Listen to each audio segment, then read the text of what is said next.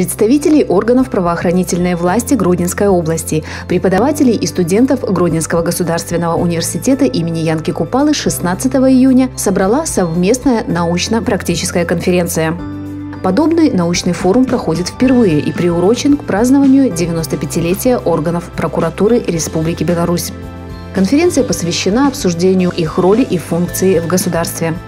Научная конференция – это практически э, выход нашего сотрудничества на новый уровень, крайне необходимый уровень, потому что сейчас вот этот сплав нашей практики и науки крайне необходим для э, законодателя, поскольку законодательство сейчас меняется довольно быстро, законодательство довольно сырое. Это наша науки и практика обязанность подсказывать, где есть какие дыры. В рамках развития концепции практикоориентированного образования Гродненский государственный университет с прокуратурой области ведет успешную практику взаимодействия. Штат сотрудников прокуратуры на 62% представлен выпускниками Купаловского вуза. А в 2015 году на юридическом факультете создан один из первых в университете координационных советов по подготовке кадров.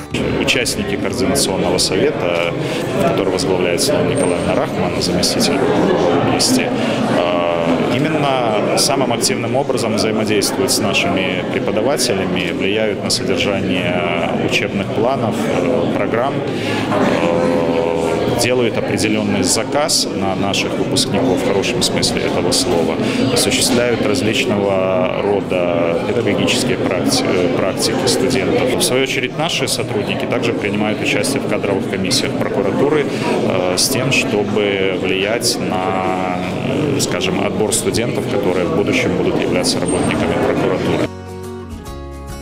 Это уже не первый опыт сотрудничества Гродненского университета и прокуратуры области.